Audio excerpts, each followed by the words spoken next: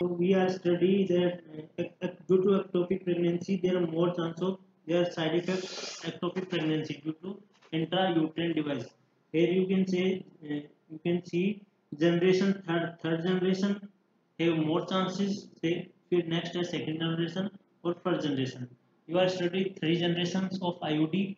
First generation जिसके अंदर बात करी थी लिपेस्ट लूप और सेकंड ग्राफिन बल्ब ठीक है रिंग नेक्स्ट बात करिए अपने प्रॉपर्टी की प्रॉपर्टी के अंदर 250, 375, 380 इस तरह से बात करी फिर बात की अपने थर्ड जनरेशन की। थर्ड जनरेशन के अंदर अपने पढ़ा मरीना और प्रोजेस्टासन तो इसके अंदर भी बात करें थर्ड जनरेशन के अंदर अपने पढ़ा मरीना और प्रोजेस्टासन प्रोजेस्टासट की वजह से मैक्सिमम चार चांस होते हैं। प्रोजेस्टा सेट प्रोजेस्टा सेट की वजह से मैक्सिमम चांस देखे गए किसके? एक्टोपिक प्रेगनेंसी के। एक्टोपिक प्रेगनेंसी क्या होता है? यूट्रन कैविटी के अलावा, यदि उसके अलावा कहीं पे भी यदि प्रेगनेंसी होती है तो उसको बोलते हैं प्रोजेस्टा सेट। नेक्स्ट बात करें कि ये क्यों होता है ऐसा? Here you can see, this is fallopian tube, uterus, ठीक है? दिस इज़ यूट्रस सर्विक्स और दिस ये पार्ट किसका है? Fallopian ट्यूब तो ये यदि अपन बात करें, यहाँ पे मान लो, यहाँ पे क्या है आपकी प्रॉपर्टी यहाँ पे आपने प्रोजेस्टा सेट है, ठीक है? और यहाँ पे अपना स्पम है, यहाँ पे स्पम है, ठीक है? और यहाँ पे ओवम ओवम ठीक है? ओवम कहाँ पे? यहाँ पे। तो इसमें क्या होता है कि जो प्रोजेस्टा सेट ये सब यूज़ करते हैं तो ये क्या करते हैं? प्रोजेस्टेरोन क्या करता है? प्रोजेस्टेरोन डिले कर देता है। जो मोटिलिटी होती है ट्यूबल मोटिलिटी को क्या कर देता है? डिले कर देता है, ठीक है? ये प्रोजेस्टेरोन के अंदर क्या होता है? प्रोजेस्ट्रोन होता है। प्रोजेस्ट्रोन। प्रोजेस्ट्रोन होता है और ये प्रोजेस्ट्रोन क्या करता है? ये प्रोजेस्ट्रोन डिले कर देता है। डिले कर देता है किसको? जो मोटिलिटी है। Delay it delay tubal motility motility. Correct? जिसकी वजह से ये एक्टोपिक प्रेगनेंसी देखी जाती है। ठीक है थर्ड जनरेशन के अंदर प्रोजेस्टा सेट प्रोजेस्टा सेट के से क्या रिलीज़ होगा? नेचुरल प्रोजेस्ट्रॉन वो नेचुरल प्रोजेस्ट्रॉन क्या करेगा? वहाँ पे जो मोटिलिटी है, ठीक है मोटिलिटी को डिले कर देगा। उस वजह से एक्टोपिक प्रेगनेंसी देखी जाती है। और नेक्स्ट है परफोरेशन अपन ने पढ़ा।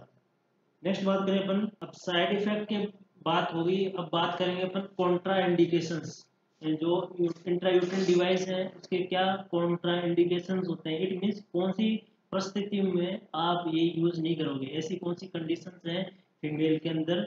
ऐसी फीमेल जिनके अंदर आपको इंट्रायूट्रन डिवाइस यूज़ नहीं करना है, आपको नहीं करना है, ठीक है?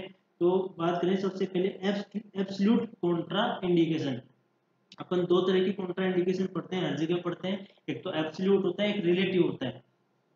तो एब्सल्यूट कॉन्ट्रा इंडिकेशन की बात करें तो प्रेगनेंसी यदि किसी लेडी को प्रेगनेंसी है तो आपको इंट्रायूट्रन डिवाइस यूज़ करना नहीं है, ठीक है? नेक्स्ट है history of ectopic pregnancy history of यदि किसी महिला की पहले हिस्ट्री रही हो एक्टोपिक प्रेगनेंसी की, ऐसी, ऐसे केस में भी यूज़ नहीं करना है, क्योंकि आपको पता है एक्टोपिक प्रेगनेंसी एक साइड इफ़ेक्ट है किसका? इंट्रायूट्रन डिवाइस का। और किसी फीमेल में पहले से एक्टोपिक प्रेगनेंसी है तो आप यदि फिर से आईओडी लगा दोगे तो फिर से उसके अंदर एक्टोपिक प्रेगनेंसी के चांसेस हो जाएँगे। और उसके जो उसका जो बच्चा लगना है, उसको चाहिए, और वो उसकी नीड पूरी नहीं हो पाएगी, ठीक है? तो एक्टोपिक प्रेगनेंसी में अवॉइड कर कॉन्ट्रा इंडिकेशन है। एब्सोल्यूट कॉन्ट्रा इंडिकेशन प्रेगनेंसी चाहे एक्टोपिक हो, चाहे कैसी भी ठीक है? और if have if have any vaginal bleed ठीक है? यदि किसी भी प्रकार की कोई वेजाइनल ब्लीड है, उस कंडीशन में भी यूज़ नहीं करना है। नेक्स्ट है सर्विक कोई सर्वाइकल कैंसर है, ऐसी कंडीशन में भी यूज़ नहीं करना है IUD IUD contraindication absolutely contraindication if cancer cervical cancer are present next है एनी मेलेग्नेंसी और किसी भी प्रकार की कोई भी ट्यूमर कंडीशन है मेलेग्नेंसी कंडीशन है तो उस कंडीशन में यूज़ नहीं करना है। और पीआईडी पेल्विक इंफ्लामेटरी डिज़ीज़ है, और वो भी कैसी? प्रेजेंट में।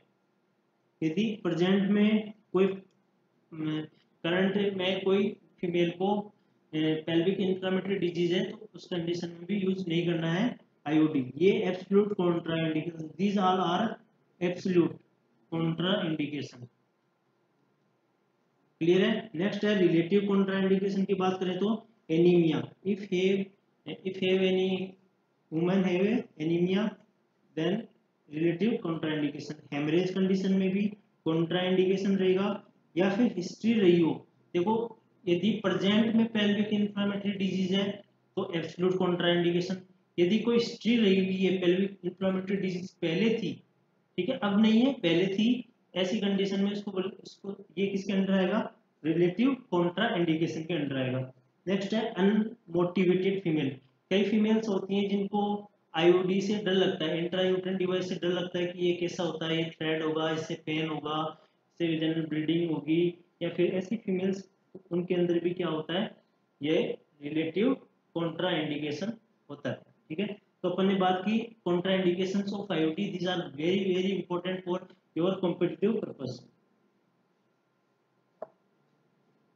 next बात करते हैं student upon mechanism of action of IOD कि ये इंट्रायूट्रन डिवाइस किस तरह से कार्य करता है? ये बहुत इंपॉर्टेंट है आपके लिए कि इंट्रायूट्रन डिवाइस किसको रोकता है?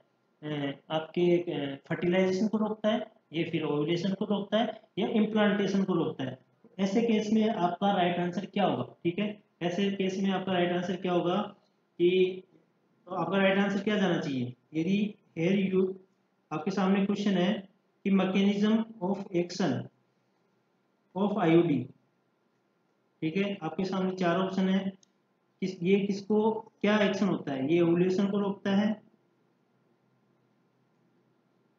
क्या ये फर्टिलाइजेशन को रोकता है?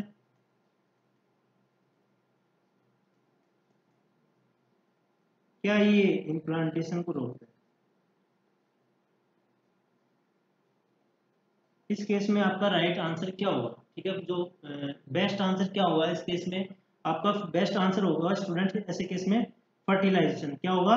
फर्टिलाइजेशन केस में बेस्ट आंसर होगा। ये जो आयोडीज है, ये फर्टिलाइजेशन को रोकती है, पहला काम। दूसरा काम होता है इसका इम्प्लांटेशन इम्प्लांटेशन ठीक है? तो यदि यदि आपके एग्ज़ाम में दोनों ऑप्शन आते हैं और सेलेक्ट ऑल दैट अप्लाई का क्वेश्चन हो, ऐसे केस में तो आपको दोनों करेक्ट करके आने ठीक है? और यदि आपके एग्ज़ाम में यदि चार ऑप्शन है और आपको यदि एक सेलेक्ट करना है वन सेलेक्ट करना है, ऐसे केस में आपको, आपका जो बेस्ट आंसर रहेगा, वो रहेगा फर्टिलाइजेशन क्या रहेगा? फर्टिलाइजेशन चलो अब इसको समझते हैं कि ये किस तरह से एक्शन होता है? MO mechanism of action of IOD IOD का किस तरह से एक्शन होता है? ठीक है? तो पहला अपन पहली बात करें तो फ़र्स्ट जो एक्शन होता है, वो होता है biochemical alteration in cervical mucus जो आपका इस तरह से ये यूट्रस ठीक है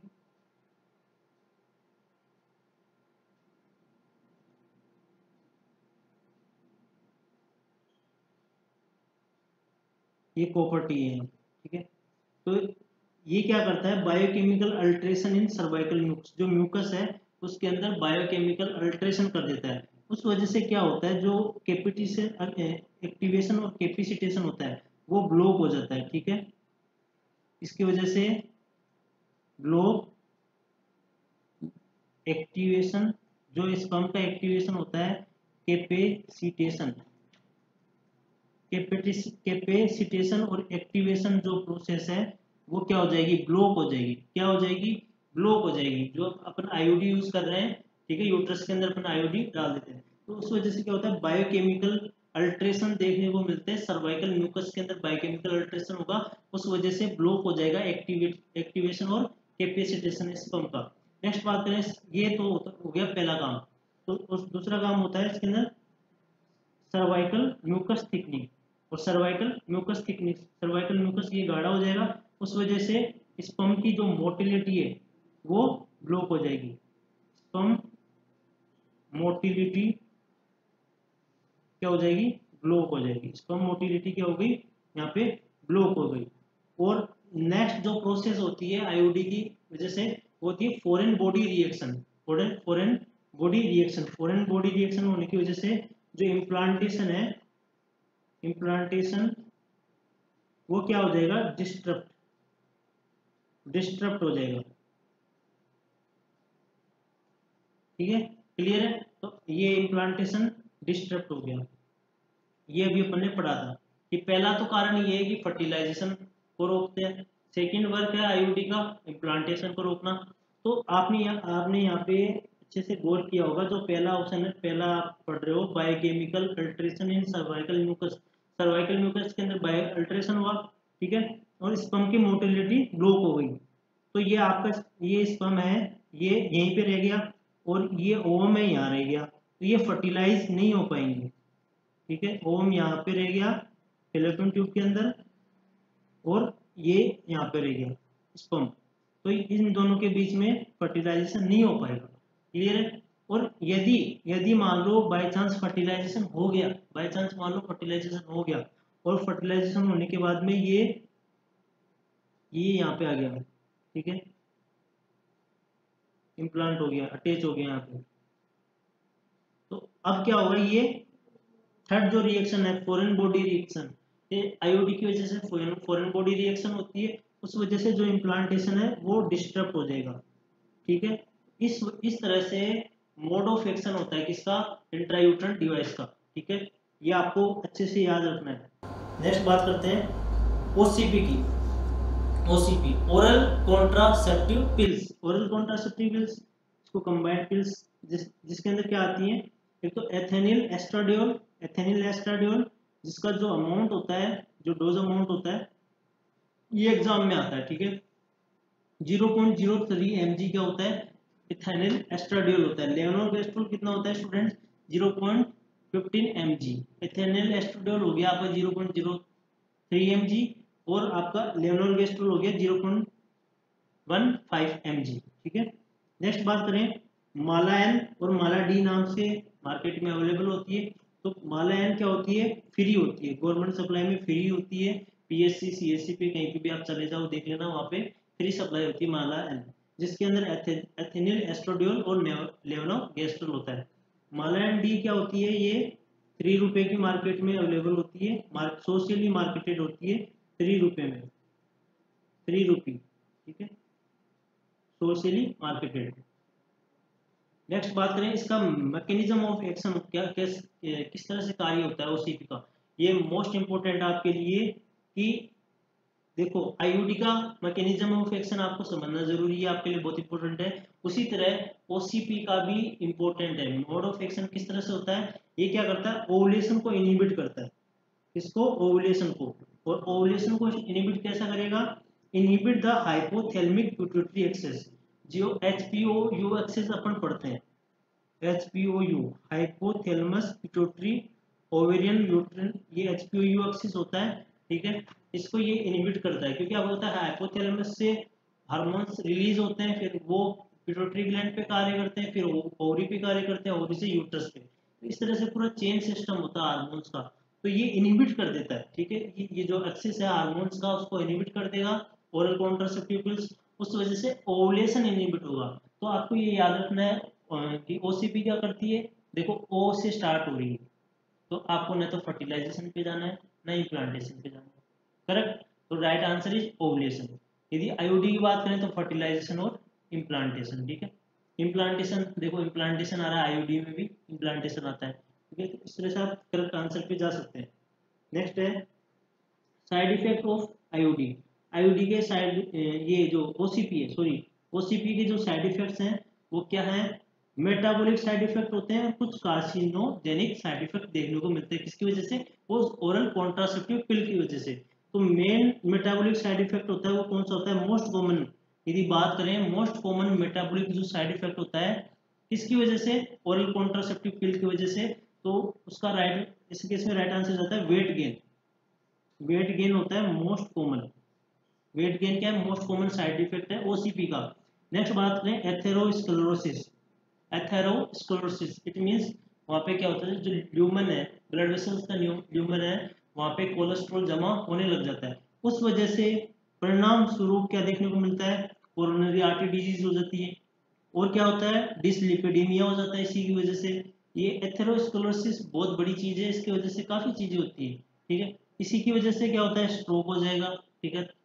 ब्रेन हेमरेज हो जाएगा थ्रोम्बोएम्बोलिज्म भी इसी की वजह से होगा एथेरोस्क्लेरोसिस डीप विनस थ्रोम्बोसिस हो जाएगा, इसकी वजह से एथेरोस्क्लेरोसिस जिसके अंदर अपन हुमान साइन पढ़ते हैं, ठीक है? तो ये ये सब चीज़ें किसकी वजह से हुई हैं? बाकी सब एथेरोस्क्लेरोसिस तो आपको मेन जो क्लू वर्ड है, वो याद रखना है तो वेट गेन और एथेरोस्क्लेरोसिस ठीक है?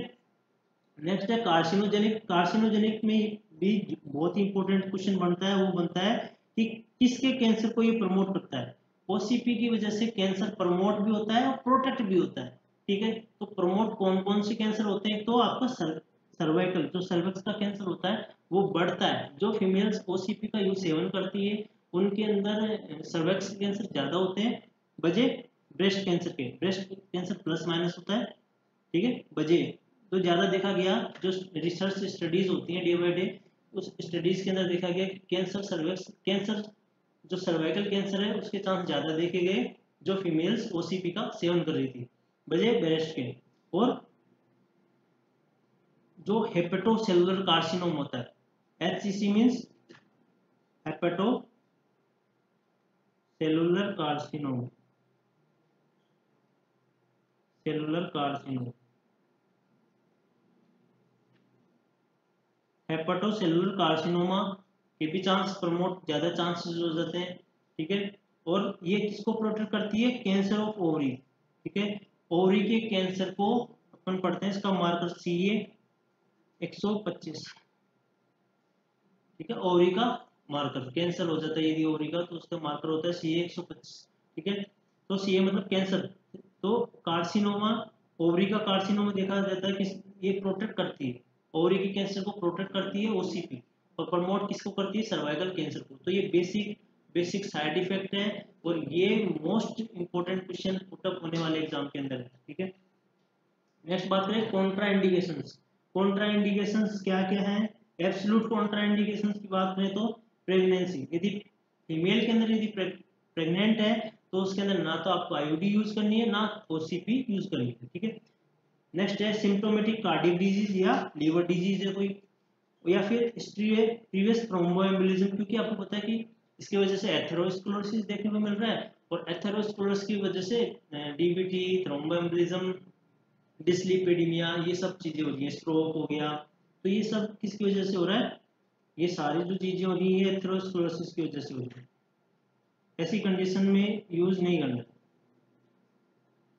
ओसीपीज नेक्स्ट है जेनेटल मेलेग्नेंसी कोई कैंसर सर्वाइकल कैंसर कंडीशन है, ऐसी कंडीशन में यूज़ नहीं करना अपने को ओसीपी नेक्स्ट बात करें रिलेटिव रिलेटिव कॉन्ट्रास्ट इंडिकेशन क्या आती है? जिनके अंदर ओसीपी सावधानी से देनी होती है। बहुत ही मतलब प्रिकॉशंस अपनाने होते हैं। उसे होते हैं रिलेटिव कॉन्ट्रा इंडिकेशन जैसे कि सीवियर ओबिसिटी क्योंकि जो मोस्ट कॉमन ओसीपी का जो साइड इफ़ेक्ट पड़ा मोस्ट कॉमन जो साइड इफ़ेक्ट पड़ा अपन ने वो क्या पड़ा स्टूडेंट कमेंट करें जल्दी से, क्या क्या क्या पढ़ा अपन ने? वेट गेन वेट गेन और वेट लॉस को क्या बोलते हैं स्टूडेंट यहाँ पे लिखा है मैंने weight gain weight loss TB patient के अंदर देखने को मिलता है, उसको बोलते हैं वेट लॉस होता है. यहाँ पे वेट गेन होता है उसी की वजह से माइग्रेन जैसी problems epilepsy cardiac liver disease severe hypertension इन सभी कंडीशंस के अंदर अपने को बहुत ही सावधानी के साथ में ओसीपी यूज़ करनी होती है। नेक्स्ट बात करें मिस डोज ये वेरी वेरी इंपॉर्टेंट है। बहुत ही इंपॉर्टेंट क्वेश्चन है ये मिस डोज वाला, ठीक है? यदि, ये आपको पता है, आपने पढ़ा होगा O C P oral contraceptive pill के अंदर जो 21 तो हार्मोनल होती है। हार्मोनल होती है। हार्मोनल टेबलेट होती है। ठीक है? और सेवन क्या होती है? प्लेसिबो टेबलेट होती है। प्लेसिबो टेबलेट जिनके अंदर क्या होता है? आयरन होता है, ठीक है? आयरन होता है। तो ये टोटल कितनी होती है? आई ओसीपी के अंदर 28 टेबलेट होती है। ठीक है? ये हार्मोनल होती है 21 जो व्हाइट कलर की होती है उसके अंदर, और ये ब्राउन कलर की होती है, ये सेवन होती है, जो कि आयरन की होती है। ठीक है? अब बात करें इसके अंदर अपन ये जो 21 टेबलेट है, ठीक है, ये अपन ने पढ़ा। तो यदि मान लो कोई फीमेल है फीमेल है ये ओसीपी ले रही है और उससे मिस हो जाए, एक डोज मिस हो जाए तो ऐसी कंडीशन में क्या करें, ठीक है? ऐसी कंडीशन में क्या सलाह देनी है आपको पेशेंट को? ऐसे क्वेश्चन बहुत यदि आप एज ए कम्युनिटी ऑफिसर यदि कहीं ओपीडी में बैठे हैं तो वहाँ पे ऐसी प्रॉब्लम्स बहुत आएगी आपके सामने, ठीक है? तो यदि एक डोज मिस हो जाती है फीमेल से किसी एक डोज की ओसीपी की एक डोज मिस होने पे नेक्स्ट डे पे क्या लेनी है? टू डोज लेनी है। यदि यदि मान लो आज आपको क्या लेनी थी? ओसीपी लेनी थी। आप नहीं ले पाए किसी वजह से, या फिर आपके पास खो गई हो किसी भी वजह से नहीं ले पाए तो नेक्स्ट डे आपको क्या करना है? Today next day two tablet लेनी है। यदि मान लो दो दिन तक आपको पता ही नहीं है कि आपको ओसीपी लेनी है, नहीं लेनी आप भूल गए तो क्या करना है फिर उसके next day two tablets into two days next जो टू डेज़ होंगे टू टू टेबलेट्स लेनी है, ठीक है? नेक्स्ट अगले दो दिन तक, यदि पिछले दो दिन तक यदि नहीं लिए टेबलेट नहीं ले पाए किसी भी वजह से तो नेक्स्ट टू डेज़ तक आपको टू टू टेबलेट्स लेनी है। नेक्स्ट है यदि three days three dose three dose यदि मिस हो जाती है, ऐसे केस में क्या करना है? स्टॉप कर देना है। क्या करना है? स्टॉप एंड डिस्कार्ड उस टेप, फिर उसको ठीक है डिस्कार्ड कर देना, आपको रोक देना है, आपको नहीं करना है। और यूज़ अल्टरनेट कॉन्ट्रासेप्शन जैसे कि barrier methods barrier methods condom ये यूज़ करना, ठीक है? अल्टरनेट कॉन्ट्रासेप्शन चालू कर देना है, यदि लगातार तीन दिन तक कंटिन्यू प्रीवियस थ्री डेज़ से यदि आपने उसी की लेना, आप भूल गए हैं मिस हो चुकी है किसी वजह से तो उसको डिस्कार्ड करना है और स्टॉप कर देना है। और अल्टरनेट कॉन्ट्रासेप्शन अपने को यूज़ करना है और restart OCP from next cycle जब स्टार्ट होगी, उस समय आपको क्या करना है? स्टार्ट करना है, ठीक है? तो ये मिस डोज से रिलेटेड जो क्वेश्चंस होते हैं स्टूडेंट्स के, काफ़ी क्वेश्चंस होते हैं मन के अंदर की ऐसी कंडीशन में क्या हो जाएगा? एक एक छूट जाए तो क्या हो जाएगा? दो छूट जाए तो क्या हो जाएगा? ऐसे क्वेश्चंस होते हैं तो यहाँ से आप इजीली सोल्व कर सकते हैं। नेक्स्ट है injectable method of contraception now next one is uh, next contraceptive method is injectable